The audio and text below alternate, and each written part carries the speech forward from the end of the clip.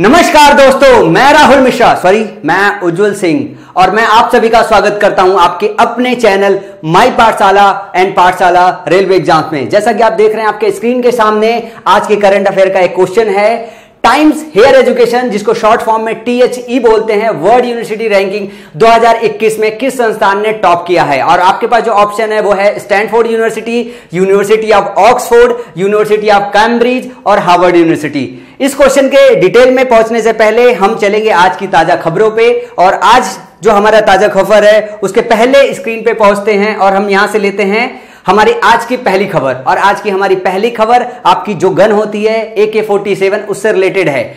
एक deal sign हुई है, भारत और रशिया के बीच में। हमारे रक्षा मंत्री राजनाथ सिंह तीन दिवसीय दौरे पे रूस में गए थे। वहाँ पे एक डील फाइनलाइज हुई है और डील क्या फाइनलाइज हुई है? ए के फोर्टी सेवन ये हमारी जो राइफल है, इसका एक अपग्रेडेड वर्जन बनाया गया है A K two zero three नाम याद रखेंगे ए के टू ज़ीरो थ्री और ये सौदा क्या किया गया है? इसका जो विनिर्माण है, वो भारत में किया जाएगा।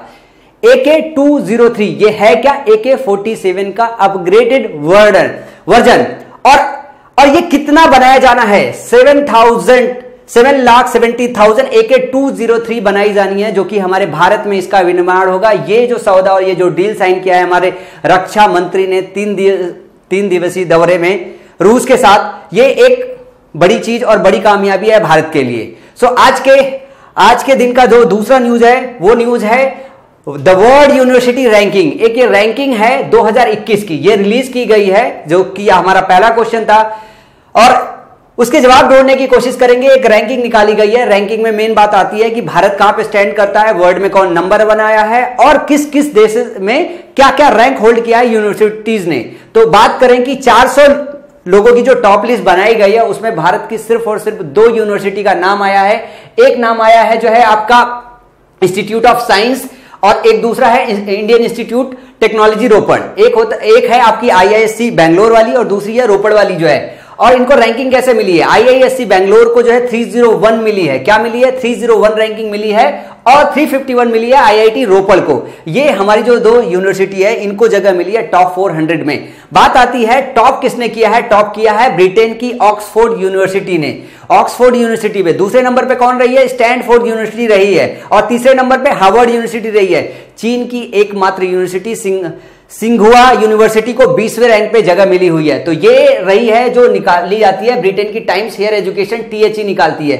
क्या निकालती है? ब्रिटेन की टाइम्स हेयर एजुकेशन निकालती है। इसको शॉर्ट फॉर्म में टीएचई बोलते हैं। तो एक क्वेश्चन जो हमने स्टार्ट में लिया था, उसका जवाब यह पूछा गया था कि टॉप किसने किया है? टॉप किया है ऑक्सफोर्ड यूनिवर्सिटी ये पहले नंबर पे आई है। और आज के दिन का अगला करंट अफेयर अगला न्यूज़ देखेंगे। और ये बात आती है एस गोपा कुमार की। एस गोपा कुमार की। इनसे रिलेटेड न्यूज़ क्या है? इनसे रिलेटेड एक न्यूज़ ये है कि एक गोल्ड मेडल इन्होंने हासिल किया है। ये गोल्ड मेडल क्या है? Indian institute of architect IIA इसको बोलते हैं शॉर्ट फॉर्म में इंडियन इंस्टीट्यूट ऑफ़ आर्किटेक्ट ये क्या करती है? वस्तुकला के फ़ील्ड में, वस्तुकला के फ़ील्ड में जो कोई भी उत्कृष्ट योगदान देता है, उसको ये प्राइज दिया जाता है और ये प्राइज मिला है एस गोपा कुमार को। और ये क्यों मिला है? क्योंकि इन्होंने बहुत सारी जो है वस्तुकला वस्तुकला बोले तो बिल्डिंग्स बहुत सारी बनाई हुई है। एसडीएफसी की बिल्डिंग कोची में इन्होंने बनाई है। केरल हिस्ट्री म्यूज़ियम को इन्होंने बनाया है। जो कि कोची में है K S I R C T bus station इन्होंने तिरुवनंतपुरम वाली बनाई हुई है। तो इनके उत्कृष्ट कामों के लिए इनको ये पुरस्कार मिला हुआ है। आईएए का मुख्यालय, सबसे बड़ा सवाल है, आप लोगों को पता होना चाहिए, जो एग्ज़ाम में आपका पूछ सकता है, इसका मुख्यालय मुंबई में है। तो ये इस इस न्यूज़ से रिलेटेड ये कुछ बेसिक सी इंपॉर्टेंट इंफॉर्मेशन है कि आईआईए कौन इनका फुल फॉर्म क्या है? इंडियन इंस्टीट्यूट ऑफ़ आर्किटेक्ट ये वस्तुकला के फ़ील्ड में ये प्राइज जो है ऑर्गेनाइज करती है। गोपा कुमार को मिला है। किस लिए? एसडीएफसी बिल्डिंग बनाने के लिए, केरल हिस्ट्री म्यूज़ियम बनाने के लिए के S R T C bus station बनाने के लिए। और आईआईए का जो मुख्यालय है, वो मुख्यालय है आपका मुंबई में। आज के अगले न्यूज़ की तरफ़ बढ़ते हैं और अगला न्यूज़ है ऊषा पाड़े को लेके। ऊषा पाड़े को लेके सबसे बड़ा न्यूज़ क्या है? एक शॉर्ट फॉर्म है, विकास। क्या बोलते हैं? BCAS B A B C A S BCAS. इसका फुल फॉर्म क्या है? Bureau of civil aviation security. क्या है? Bureau of civil aviation security. यहाँ पे एक चीज़ समझिए कि इनको महानिदेशक के रूप में जो है नियुक्त किया गया है। इसके पहले राकेश अस्थाना विकास के जो है प्रभार संभाला करते थे, लेकिन अब उन्हें यहाँ से बीएसएफ के महानिदेशक के रूप में स्विच कर दिया गया है। अब जो है आपके विकास की जो महानिदेशक वो कौन है? ऊषा पाड़े हैं। उषा पाड़े वर्तमान में, अभी, जब तक ये संभाल नहीं है, तब तक नागरिक उड्डयन मंत्रालय में संयुक्त सचिव है। यहाँ से इनका ट्रांसफ़र होके जो है, महानिदेशक का पद दिया गया है, किसका? विकास का दिया गया है। और ये पहली महिला और तीसरी जो है आई अधिकारी बनी है, इस पोस्ट पे पहुँचने वाली। आई अधिकारी अब तक इनके अलावा दो और पहुँचे हुए हैं, ये तीसरी रही हैं और पहली महिला है। इसी वजह से ये न्यूज़ आपकी खास न्यूज़ है। और विकास की स्थापना कब हुई थी? विकास की स्थापना 1978 में हुई थी। कौन सी समिति की वजह से हुई थी? पांडे समिति की वजह से हुई थी। तो जो आपको याद रखना है, वो याद रखना है, पांडे समिति की सिफारिश पे विकास की स्थापना हुई थी। कब हुई थी? 1978 में हुई थी। ये न्यूज़ बहुत सारे महानिदेशक बने हुए हैं, लेकिन यही क्यों? क्योंकि पहली महिला है। पहली महिला अब तक जितने भी महानिदेशक बने हैं वो सारे के सारे पुरुष रहे महिला नहीं रहे। ये पहली महिला और तीसरी आईएएस है और विकास का फुल फॉर्म पूछा जा सकता है। यह है bureau of civil aviation security इसका फुल फॉर्म है। इसके बाद हम अगले न्यूज़ की तरफ़ बढ़ते हैं। आज का हमारा अगला न्यूज़ है तमिलनाडु। तमिलनाडु में एक खास बात ये हुई है ध्यान से यहाँ पे देखिएगा, एक महिला है और बड़ी बात है, आपने ज़्यादातर समय देखा है एंबुलेंस चलाते हुए। एंबुलेंस चलाने वाले जो भी लोग होते हैं, ज़्यादातर केसेस में आपको पुरुष ही देखने को मिलेंगे। तो तमिलनाडु ने क्या किया है? पहली एवर ओमेन जो है एंबुलेंस के ड्राइवर जो है नियुक्त किया गया है। सो so, तमिलनाडु के मुख्यमंत्री कौन है? ये आप सभी लोगों को पता होना चाहिए। पालिनी स्वामी। तमिलनाडु के मुख्यमंत्री पालिनी स्वामी। और किसको किया है? नाम क्या है इनका? एम वीरा लक्ष्मी क्या नाम है? एम वीरा लक्ष्मी को पहली एंबुलेंस की ड्राइवर जो है नियुक्त किया गया है। तो 108 एंबुलेंस का नंबर होता है आप सभी लोगों को पता है। अब इस बात को देखिएगा कि यहाँ पे एक काम किया गया है 125 करोड़ रुपए के लागत से 500 नई एंबुलेंस राज्य को समर्पित की गई है। तो इस न्यूज़ में खास न्यूज़ क्या है कि तमिलनाडु ने पहली बार जो है वहाँ की सरकार ने, वहाँ के मुख्यमंत्री ने यह स्टेप लिया है कि हम किसी महिला को जो है एंबुलेंस का ड्राइवर बनाएँगे। और ये श्रेय किसको जाता है? ये श्रेय एम वीरा लक्ष्मी को जाता है। अब अब अब एक चीज़ और खास करके ध्यान देने वाली बात है ध्यान देने वाली बात क्या है कि 125 करोड़ की लागत से 500 एंबुलेंस जो है समर्पित किया गया है। तमिलनाडु सरकार ने समर्पित किया है लोगों के लिए। और ये तमिलनाडु के लोगों के लिए एक अच्छी और गुड न्यूज़ है। आज के अगले न्यूज़ पे पहुँचेंगे हम। आज का हमारा जो अगला न्यूज़ है, देखो, अब यहाँ पे कुछ चीज़ें ऐसी है, कुछ खेल ऑर्गेनाइज हुआ है। उस खेल में कुछ अलग तरीके का खेल है। ये खेल आपको याद रखना पड़ेगा। जो टीम है, वो एनटीपीसी वेल्योर की है। ये जीता है तमिलनाडु जो है wins I I M A I I M A है क्या? I I M A Indian management association द्वारा ऑर्गेनाइज होती है। ऊर्जा मंत्रालय के तहत केंद्रीय सार्वजनिक उपक्रम। एनटीपीसी लिमिटेड की टीम ने all India management association Chanakya राष्ट्रीय प्रबंधन खेल। ध्यान रखिएगा, इंडियन मैनेजमेंट एसोसिएशन चाणक्य राष्ट्रीय प्रबंधन खेल 2020 ये जीता है। किसने जीता है? एनटीपीसी लिमिटेड ने जीता हुआ है। एनटीपीसी लिमिटेड ने जीत लिया है। अब आपको ये पता होना चाहिए थोड़ा सा ये खेल के विषय में कि ये जो इंडियन मैनेजमेंट एसोसिएशन चाणक्य राष्ट्रीय प्रबंधन खेल, ये ये है क्या? ये किस तरीके से ऑर्गेनाइज होता है? और इसमें कितने सारे लोगों ने पार्टिसिपेट किया है? तो इसमें 112 संगठनों की टीमों ने पार्टिसिपेट किया है। कितने संगठनों की टीमों ने? 112 संगठनों की टीमों ने पार्टिसिपेट किया ये होता क्या बेसिकली ये बेसिकली एक क्या है? ऑनलाइन व्यापार सिमुलेशन का खेल है।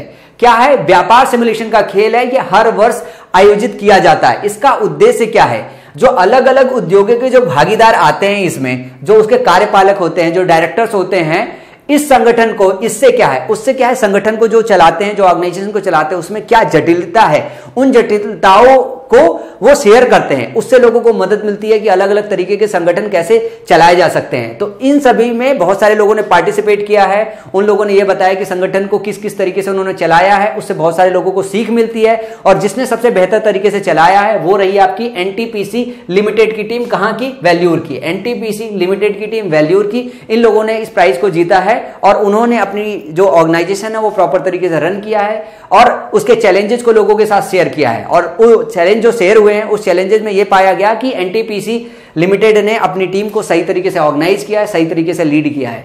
विनर तभी अनाउंस होता है जब उसने कुछ एक्स्ट्रा ऑर्डिनरी काम कर रखा हो। ठीक है, इसके बाद आज के न्यूज़ में अगले न्यूज़ की तरफ़ चलेंगे। Introduction of Jammu and Kashmir official language bill 2020 ये अप्रूव हो गया है। पहले जम्मू और कश्मीर में कुछ लैंग्वेजेस चलती है, उसमें कुछ मॉडिफिकेशन किया गया। एक एक नया बिल इंट्रोड्यूस किया गया है और जिसको बोला गया है official language introduction of Jammu and Kashmir official language bill 2020 और ये संसद में अप्रूव हो गया है। संसद में जो ये राजा जम्मू कश्मीर राजभाषा विधेयक 2020 ये इसका नाम दिया गया है जम्मू कश्मीर राजभाषा विधेयक 2020 ये प्रस्ताव मंत्री मंत्रिमंडल द्वारा अनुमोदित हो गया है। देखो, अब वहाँ पे क्या क्या बोली जा सकती है? उर्दू, कश्मीरी, डोगरी, हिंदी और अंग्रेज़ी, ये आधिकारिक भाषा हो गई है। पहले ये बोली जाती तो थी, लेकिन ये आधिकारिक भाषा नहीं थी, पर अब ये आधिकारिक भाषा हो गई है। अब ये जम्मू कश्मीर की आधिकारिक भाषा है। कश्मीरी जो है, तिरपन परसेंट जो आबादी है, उसकी मातृभाषा है। जो वहाँ पे रहते हैं लोग, उसमें कश्मीरी जो हमारी लैंग्वेज है, वो तिरपन परसेंट लोग ऐसे हैं जो कश्मीरी बोलते हैं, उनकी मातृभाषा वहाँ पे मानी जाती है। ये सबसे ज़्यादा अधिक बोली जाती है वहाँ पे। जम्मू कश्मीर में जो और अन्य भाषाएँ बोली जाती थी, वो थी डोगरी, वो थी गोजरी और पहाड़ी, ये तीन और भाषाएँ वहाँ पे बोली जाती है, डोगरी, गोजरी और पहाड़ी, तीन और भाषाएँ बोली जाती है। लेकिन अब के बाद आपको क्या याद रखना होगा कि ये जो बिल 2020 वाला जम्मू कश्मीर राजभाषा विधेयक पारित किया गया है, इसमें उर्दू बोली जा सकती है, कश्मीरी के अलावा डोगरी, हिंदी और अंग्रेज़ी। हिंदी, अंग्रेज़ी आपको याद रहेगा। दो और याद रखना है, उर्दू भी याद रहेगा। ये उर्दू कैसे याद रख सकते हो? क्योंकि वहाँ पे ज़्यादातर लोग जो है मुस्लिम है तो उर्दू बोलते होंगे, कश्मीर है तो कश्मीरी है। एक और याद रखना है आपको, डोगरी। कैसे याद रखोगे? डोगरी। आपको क्वेश्चन बना सकता है। ऑप्शन ऑप्शन देखे कि जम्मू कश्मीर में कौन कौन सी आधिकारिक भाषाएँ हो गई है। तो डोगरी एक और एक्स्ट्रा याद रखना है। हिंदी हम बोलते हैं, अंग्रेज़ी हम बोलते हैं, हिंदी, अंग्रेज़ी हो ही गई। और हमारा क्या है? कश्मीरी, वहाँ के लोग हैं, कश्मीरी बोलते हैं, कश्मीरी हो गई, तीन परसेंट लोग रहते हैं, और वहाँ के लोग मुसलमान ज़्यादातर हैं तो उर्दू भी वहाँ पे बोली जाती है ये भी आधिकारिक भाषा हो गई है। डोगरी एक अलग से नाम आपको याद रखना है। क्या याद रखना है? डोगरी एक अलग से याद र... नाम याद रखना है। इसके बाद हम आज के अगले न्यूज़ की तरफ़ चलेंगे। Russia commits to policy of no arms. ये बेसिकली मैं आपको समझा देता हूँ, है क्या? हिंदुस्तान का जो है, और रशिया का बड़ा अच्छा रिलेशन है। और राजनाथ सिंह तीन दिन के दौरे पे जो है वहाँ पे गए थे। तो रशिया ने प्रॉमिस किया है, रशिया ने कमिट किया है कि नो आर्म्स डील वो पाकिस्तान को किसी भी तरीके का जो है आर्म सप्लाई नहीं करेगा।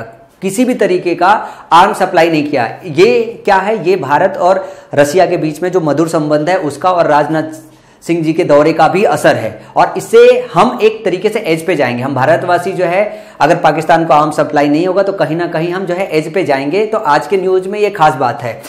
और यहाँ पे यहाँ पे एक चीज़ और समझना है कि रक्षा मंत्री राजनाथ सिंह जो है, रूस के तीन दिवसीय दौरे पे थे। तीन दिवसीय दौरे पे क्यों थे? क्योंकि संघाई सहयोग संगठन वहाँ पे आयोजित एससीओ बोलते हैं इसको, संघाई सहयोग संगठन, ये वहाँ पे आयोजित हो रही थी। और ये जो है ये जो हमारा जो है विश्व युद्ध हुआ था, ठीक है? उसकी याद में होती है, उसकी जीत की याद में है। और पचहत्तरवीं जो है वर्षगांठ के उपलब्ध में ये आयोजित किया गया था, संघाई सहयोग संगठन, वहाँ पे गए हुए थे। तो रक्षा मंत्री जी, रूस की तीन दिवसीय यात्रा पे गए थे और वहाँ पे उन्होंने ये जो चीज़ है रूस के साथ जो है समझाया, बुझाया, महराया भुसाया और ये डील साइन करवा लिया कि साहब, पाकिस्तान के साथ कोई आम सप्लाई नहीं होगा, कौन नहीं करेगा, भारत नहीं, रशिया किसी भी तरीके का जो है आम सप्लाई नहीं करेगा, ये डील साइन हुआ है। इसके बाद अगले न्यूज़ की तरफ़ बढ़ेंगे हम, और अगला न्यूज़ क्या है?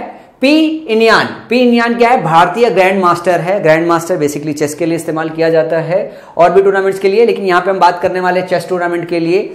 और चेस टूर्नामेंट जो हो रहा था, उसमें नौ में से 7.5 अंक स्कोर करके इन्होंने क्या किया है? इन्होंने जीत लिया है। ऑनलाइन चेस टूर्नामेंट जीत लिया है। ये अड़तालीसवां annual world open online chess tournament था। कौन सा था? अड़तालीसवां annual world open online chess tournament याद रहेगा? अड़तालीसवां annual world open online chess chess tournament था, जिसको जीत लिया है उन्होंने, जिसमें से जो फाइट हुई है, जो गेम हुआ था, नौ गेम में से छह जीते हैं, वो तीन हारे हैं। और ये 16 देशों के कुल 120 खिलाड़ियों ने इस चेस टूर्नामेंट में पार्टिसिपेट किया था। इस खिताब को जीतने के लिए उन्होंने हराया किसको है? जॉर्जिया के ग्रैंड मास्टर बाडूर। बाडूर जो बुबा को, बाडूर जो बुबा को उन्होंने हराया है और यहीं के सैम विवियन को हराया हुआ है। इसके अलावा संयुक्त राज्य अमेरिका के सरगेई एरनबर्ग को हराया हुआ है और यूक्रेन के नेजेक इलिया को हराया हुआ है। ये कुछ नाम है जो सबसे ज़्यादा आपको याद रखना है। जॉर्जिया और जॉर्जिया के ग्रैंड मास्टर बाडूर जोबोवा को, सैम सिवियन को और सरसेई एरनबर्ग को और यूक्रेन के न्यूजेक इलिया को हरा के इन्होंने ये चीज़ जीती हुई है। ठीक है? इसमें जो पार्टिसिपेट किया है 120 खिलाड़ियों में से 30 से ज़्यादा खिलाड़ी ग्रैंड मास्टर रहे हैं। तीस से खिलाड़ी, ज़्यादा खिलाड़ी ग्रैंड मास्टर रहे आप लोग को, नीचे कमेंट सेक्शन में लिख के ये बताना है कि हम किसी भी खिलाड़ी को चेस में ग्रैंड मास्टर कब बोलते हैं। तो आज के दिन आपको कमेंट सेक्शन में मेंशन करना है कि हम चेस के खिलाड़ी को कब ग्रैंड मास्टर 120 खिलाड़ी हैं, उसमें से सिर्फ़ 30 को बोला ग्रैंड मास्टर तो कब, किस स्थिति में ग्रैंड मास्टर का उनको खिताब मिल जाता है कि हमको ग्रैंड मास्टर बोलने लगते हैं। कमेंट सेक्शन में लिख के बताइएगा। इसके बाद आज के अगले न्यूज़ की तरफ़ चलेंगे। हैदराबाद इंटरनल एयरपोर्ट की बात करेंगे। ये इसने जीता है। हैदराबाद इंटरनेशनल एयरपोर्ट ने जीता हुआ है। कौन सा जीता हुआ है? C I G B C national energy leader award C I I G B C national energy leader award इसको बोलते हैं राजीव गांधी अंतर्राष्ट्रीय हवाई अड्डे को ऊर्जा प्रबंधन में उत्कृष्टता के लिए 21वें राष्ट्रीय पुरस्कारों में। क्या है? नेशनल एनर्जी लीडर और एक्सीलेंस एनर्जी एफिशिएंट यूनिट पुरस्कार प्रदान किया गया है। क्या किया गया है? National energy leader national energy leader और एक्सीलेंस एनर्जी एफिशिएंट यूनिट इसका पुरस्कार प्रदान किया गया है। इसके अलावा राष्ट्रीय इस्पात निगम लिमिटेड, विशाखापत्तनम, इनको जो स्टील प्लांट है ये, इसको इसको राष्ट्रीय पुरस्कार जो है सीआईएजीबी से एक्सेलेंट एनर्जी इफिशियंट यूनिट का जो है, खिताब दिया गया है। भारतीय उद्योग परिसंघ सीआईआई सीआईआई का फुल फॉर्म क्या है? भारतीय उद्योग परिसंघ और Godrej green business centre Godrej green business centre G for Godrej B for business C for centre और बीच में ग्रीन घुसा हुआ है। गोदरेज ग्रीन बिज़नेस सेंटर ये इसका फुल फॉर्म है। ठीक है? भारतीय उद्योग परिषद परिषद सीआईआई का हिंदी में फुल फॉर्म है। ये जो है, ये सारा का सारा जो ये चीज़ है ऑर्गेनाइज करती है। ये ऊर्जा दक्षता के क्षेत्र में जिन्होंने महत्वपूर्ण काम कर रखा है उनके नवीन प्रयासों के लिए मोटिवेट करने के लिए ये पुरस्कार आयोजित करती है और ये पुरस्कार जीता कितने जीता है राजीव गांधी अंतर्राष्ट्रीय हवाई अड्डे ने। और इसके बाद हम चलेंगे फटाफट न्यूज़ पे, न्यूज़ फटाफट में। सऊदी अरबिया सऊदी अरबिया ने क्या काम किया न्यूज़ फटाफट में? इन्होंने अलाउ किया है कि इनके ऊपर जो आसमान आता है, जब भी किसी एरोप्लेन को एक जगह से दूसरी तरह जाना होता है तो देश का परमिशन चाहिए होता है। तो सऊदी सऊदी अरब ने क्या किया है? परमिशन दे दिया है कि अगर यूएई जाना है यूएई अगर जाना है तो कोई भी जा सकता है सऊदी अरब का परमिशन है। तो न्यूज़ फटाफट में ये है और इससे पहले यूएई में जो है, सबसे पहले पहुँचा क्या है? सऊदी अरब में इसराइल की एक पहली सीधी वाणिज्यिक जो है विमान पहुँची थी यूएई तक। किसकी? इसराइल से। पूछा जा सकता है कि यूएई में सबसे पहली जो है, कौन सी जो है विमान पहुँची थी? इसराइल की पहुँची थी और सऊदी अरब ने इसकी परमिशन दे दी थी। इसके बाद न्यूज़ फटाफट में दूसरी दूसरे न्यूज़ फटाफट की तरफ़ मूव करेंगे। ब्यूरोक्रेट, देखो यार, ये छत्रपति शिवाजी जो है, एक नाम है, ये छत्रपति शिवाजी हमारे वो छत्रपति शिवाजी नहीं है जिनको हम याद करते हैं। ये छत्रपति शिवाजी हमारे एक आई बैच के आई अधिकारी रहे हुए हैं। इनके बीच में क्या है?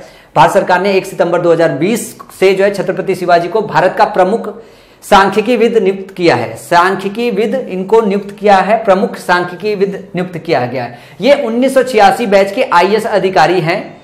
सांख्यिकी और कार्यक्रम कार्यान्वयन मंत्रालय ने सचिव के रूप में कार्यभार अब ये संभालेंगे। तो मेन चीज़ क्या है? आपको कमेंट सेक्शन में लिख के बताना है कि सांख्यिकी विद, ये सांख्यिकी विद जो है क्या है? इसके विषय में जितनी भी डिटेल आप जान सकते हो, वो नीचे आपको कमेंट सेक्शन में लिख के बताना है।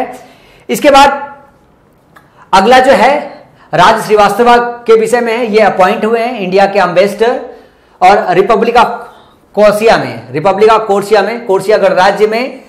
उन्नीस के जो है आईएएस अधिकारी है। वर्तमान में टोक्यो में स्थित जो है भारतीय जो दूतावास है, उसमें मिशन उप प्रमुख के रूप में कार्यरत है। यहाँ से टोक्यो से इनका जो है ट्रांसफ़र किया जा रहा है। कहाँ पे? रिपब्लिक ऑफ़ कोर्सिया में। और किस तरीके से हो रहे हैं? इंडिया के अम्बेसडर हो रहे हैं, वहाँ पे राज श्रीवास्तवा कहाँ पे? कोर्सिया में हो रहे हैं। इसके बाद अगले जो है सेगमेंट हम आता, हमारा आता है वन लाइनर वन लाइनर में आपको क्या करना है? फटाफट जो है क्वेश्चन के जवाब देना होता है। स्क्रीन के सामने आपके क्वेश्चन के समान है। एक बार रिवीजन कर ले रिवीजन के काम आता है।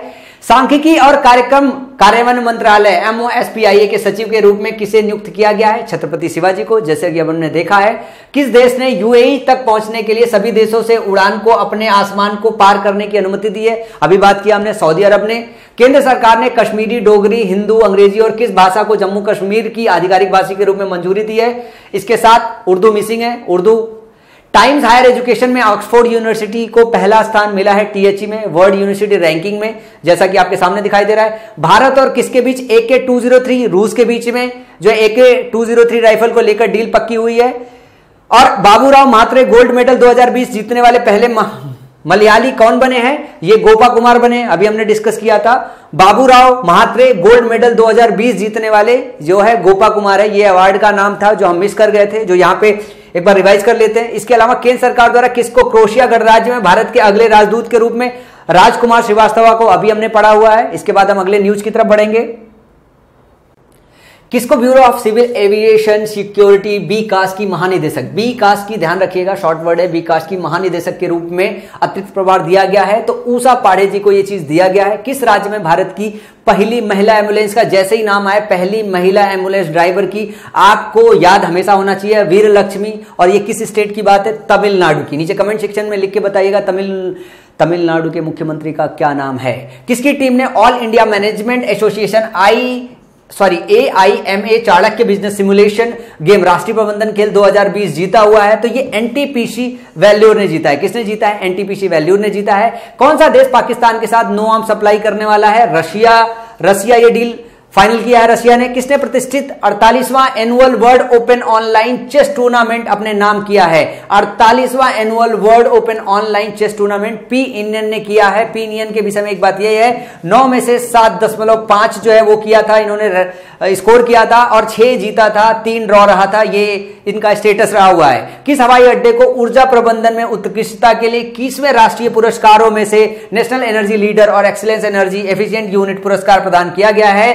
तो हैदराबाद का जो अंतरराष्ट्रीय एयरपोर्ट हवाई अड्डा है, ये नाम आता है इस अवार्ड के लिए हैदराबाद एयरपोर्ट का हवाई अड्डे का, अंतरराष्ट्रीय हवाई अड्डे का। इसके बाद हमारा अगला सेक्शन आता है, जिसको हम एमसीक्यू का नाम देते हैं। हम इसमें डिस्कस करने वाले क्वेश्चन, केंद्र सरकार ने कश्मीरी, डोगरी, हिंदी, अंग्रेज़ी हिंदी, अंग्रेज़ी यहाँ पे मिसिंग है। क्या आपका एक उर्दू? क्या मिसिंग है? उर्दू। किस भाषा को, किस भाषा? मतलब उर्दू भाषा को ऑप्शन है आपका उर्दू, ये आपका करेक्ट ऑप्शन हो जाएगा। इसके बाद अगले क्वेश्चन की तरफ़ मूव करते हैं। Times Higher Education T H E world university ranking 2021 में किस संस्थान ने टॉप किया? ऑक्सफोर्ड वाली ने जो है टॉप किया हुआ है, जो कि ऑप्शन नंबर टू में है। इसके बाद अगले क्वेश्चन की बात करते हैं हम। सांख्यिकी और कार्यक्रम कार्यान्वयन मंत्रालय एमओएसपीआई के सचिव के रूप में किसे नियुक्त किया गया है? छत्रपति शिवाजी को किया गया है, जो कि ऑप्शन नंबर वन में है। इसके बाद अगले क्वेश्चन की तरफ़ मूव करते हैं। किस देश ने यूएई तक पहुँचने के लिए सभी देशों से उड़ानों को अपने आसमान को पार करने की अनुमति दी है? यह है हमारी सऊदी अरबिया, जो कि ऑप्शन नंबर फोर में है। और मुझे उम्मीद है अब तक तो ये सारा का सारा कुछ आपको याद हो गया होगा। भारत और किसके बीच ए K two zero three rifle जो कि ए के फोर्टी सेवन का अपग्रेडेड वर्जन है, भारत और रूस के बीच में ये जगह भरना है। भारत और रूस के बीच में बेसिकली ये रशिया। आपका ऑप्शन नंबर सेकंड में दिया हुआ है। इसके बाद अगला क्वेश्चन है बाबूराव महात्रे गोल्ड मेडल 2020 जीतने वाले गोपा कुमार हैं। ऑप्शन में कहा है ये? ऑप्शन में हमारे यहाँ पे फोर्थ में एस गोपा कुमार को ये मिला है। वस्तुकला के लिए मिला हुआ है इनको ये अवार्ड उसके बाद किसको bureau of civil aviation security, B CAS की महानिदेशक, बी कास नाम याद रखिएगा, इसके महानिदेशक के रूप में किसको किसको अपॉइंट किया गया है? ऊषा पाड़े का नाम यहाँ पे आता है। क्या नाम आता है? ऊषा पाड़े को विकास का महानिदेशक बनाया गया हुआ है और ये पहली महिला है। क्या है? पहली महिला है और तीसरी आईएएस है।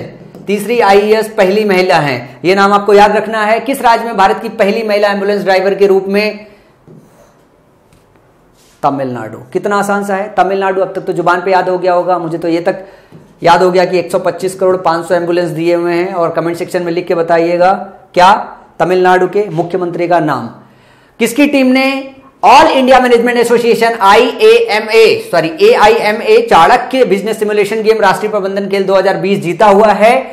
सो so, ये एनटीपीसी वैल्यूर ने यहाँ पे नाम नहीं दिया हुआ है वैल्यूर का ये एनटीपीसी वैल्यूर ने जीती है। एनटीपीसी लिमिटेड कहाँ की? वैल्यूर वाली। उसके बाद अगला क्वेश्चन है, कौन सा देश पाकिस्तान के साथ नो आर्म सप्लाई करने वाला है? ये फिर से अगेन रशिया का नाम यहाँ पे आता है और ये ऑप्शन नंबर सेकंड में है। राजनाथ सिंह ने तीन दिन का दौरा किया ए के फोर्टी सेवन का अपग्रेडेड वर्जन भारत में विनिर्माण की बात कर ली। नो आर्म्स डील साइन हो गया, सब कुछ हो गया। किसने प्रतिष्ठित अड़तालीसवां annual world open online chess tournament अपने नाम कर लिया पी इंडियन का नाम यहाँ पे आता है, जो कि ऑप्शन नंबर सेकंड है। इसके बाद अगले क्वेश्चन की तरफ़ मूव करेंगे हम, किस हवाई अड्डे को ऊर्जा प्रबंधन में उत्कृष्टता के लिए किसवें राष्ट्रीय पुरस्कारों में नेशनल एनर्जी लीडर और एक्सीलेंस एनर्जी एफिशिएंट यूनिट का पुरस्कार दिया गया है। यह है हमारी हैदराबाद की इंटरनेशनल एयरपोर्ट कहाँ की है? हैदराबाद वाली इंटरनेशनल एयरपोर्ट को यह खिताब दिया गया है। इसके बाद अगला क्वेश्चन है, केंद्र सरकार द्वारा किसको क्रोशिया गणराज्य में भारत के अगले राजदूत के रूप में नियुक्त किया गया ये हमारे राजकुमार श्रीवास्तवा, ये एट्टी ये 1986 बैच के आईएएस अधिकारी हैं, कोशिया के राजदूत बने हुए हैं, और ये रहा आज का हमारा करंट अफेयर का शो और उम्मीद करता हूँ कि आज का करंट अफेयर आपको पसंद आया हो। अगर आपको करंट अफेयर पसंद आया हो तो नीचे लाइक का एक बटन हिट कीजिएगा, और प्यार बढ़ाइए, रहिएगा। उम्मीद करता हूँ आगे और इंप्रूवमेंट करूँगा। अगर कुछ इंप्रूवमेंट हो तो नीचे कमेंट सेक्शन में लिख के बताइएगा।